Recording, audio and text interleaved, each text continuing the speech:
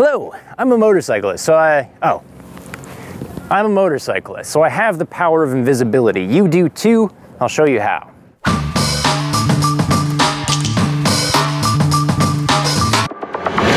What you see is not the real world. What? Well, this is your brain's best guess at reality based on input from your eyeballs. Oh. And somewhere in translation, motorcycles vanish. Invisibility 101, saccades. And these are quick eye movements from A to B, where everything in between is suppressed by the brain. It's invisible. Invisible. Better. Your brain has to ignore saccadic info because the eye flicks too fast. If it kept data from a fast moving eye, your vision would be blurry and useless. So when we scan an intersection, our brains prefer to see a series of pictures.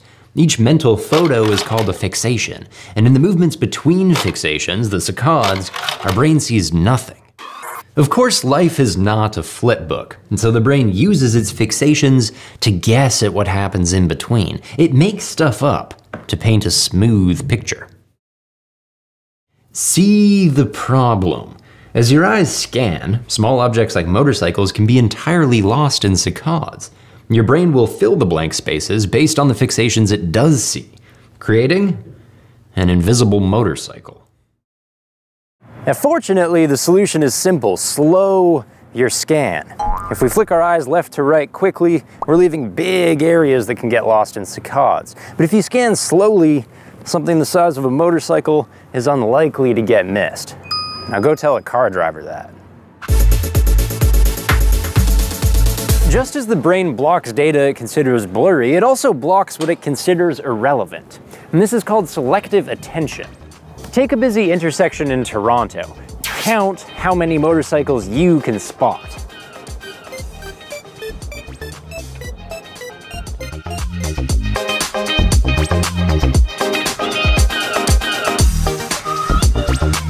The answer is zero.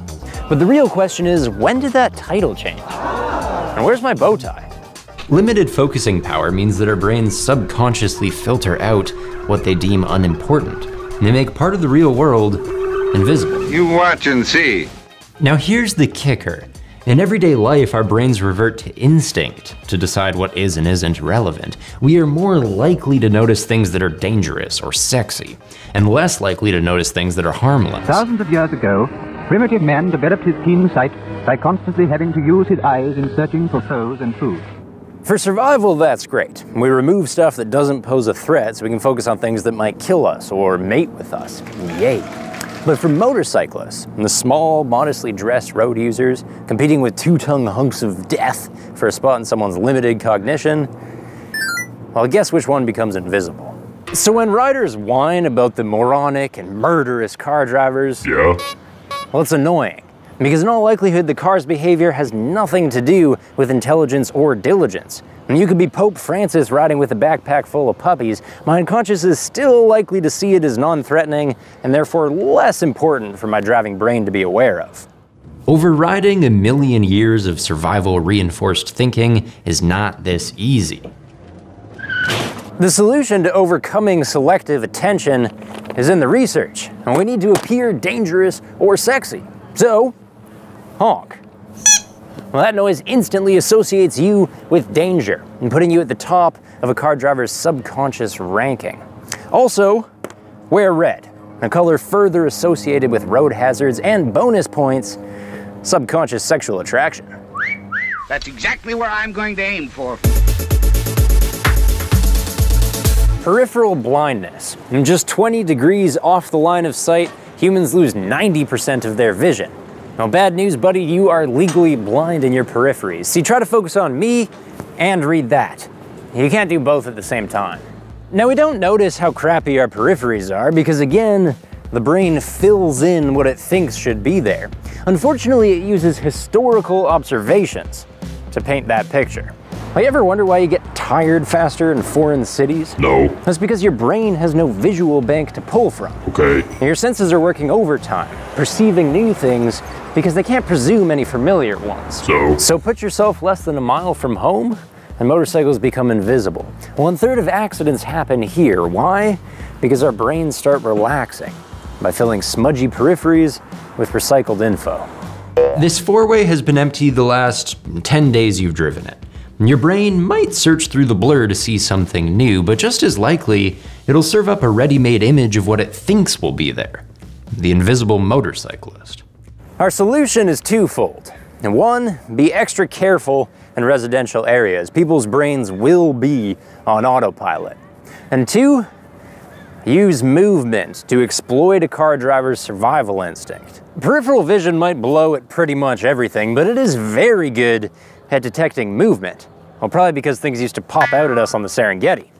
So as you approach a residential intersection, make those hand signals. That movement will trigger an instinct in a driver's brain to actually perceive rather than just presume their peripheries. Relying on the movement of your motorcycle is not enough, by the way, because as two vehicles approach the same spot at the same speed, like right before a collision, they occupy a constant place in each other's field of view. There's no relative movement here, so you need to move. And so the examination goes on. Beam blindness. You know those vertical beams on either side of your windshield? Well, you don't see anything near there. The brain gets bored easily, so it eliminates stuff that is constantly in frame. A case in point, where is your nose? It's within the field of view, you're perfectly capable of seeing things down in the parallax zone, but the nose is invisible because the brain is bored of it. In the same way, car drivers' brains tune out window beams and anything near to them. Now fortunately, beams are at 10 and 2 in pretty much every car, so the solution when you ride towards a vehicle at 10 or 2 is to know that you're probably invisible. Nothing can sneak up on him. Ooh, our final course, graduate level, contrast blindness. And the Air Force has determined that contrast is the greatest factor in the visual acquisition of targets. Uh-huh.